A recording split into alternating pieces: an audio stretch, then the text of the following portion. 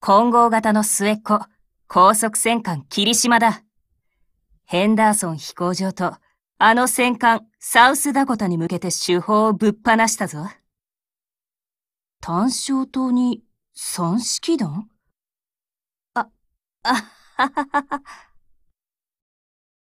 私は高速戦艦霧島だ。さあ、指揮官。この先の長い道のり、共に行こうじゃないか。指揮官。この私が役立てることはあるか？金剛から紅茶をもらったぞ。一緒に飲んでみないか？単焦と？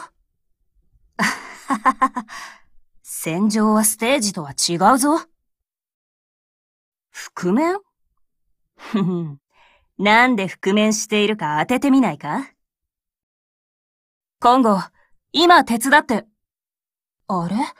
い、いらないか。指揮官、寂しくなったのか？指揮官、私はここにいるぞ。やるなら正面から堂々と行くべきだな。あはは、なんだ？指揮官の方が恥ずかしがってるじゃないか。ふん。今度戻る時の土産はどうすべきか。疲労で倒れた子がいるようだ。一緒に寮まで運ぶぞ。メールだぞ。指揮官って人気者だな。指揮官、ご苦労だったな。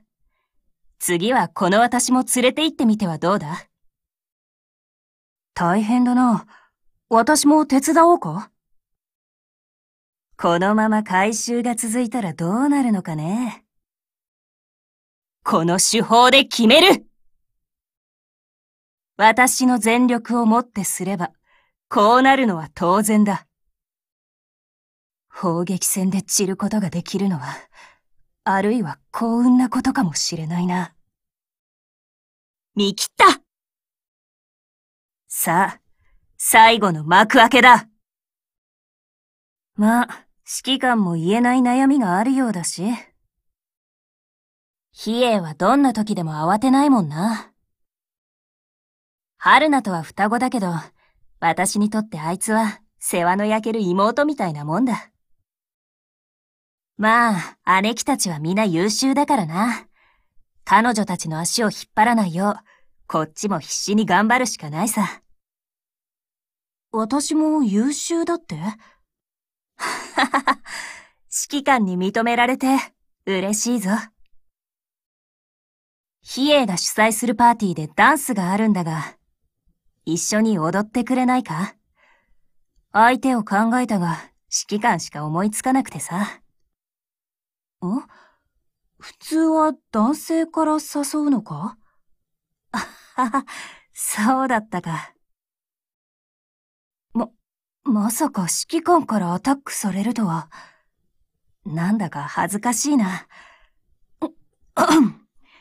じゃあお返しに。指揮官、これからもずっとダンスの相手、付き合ってあげるよ。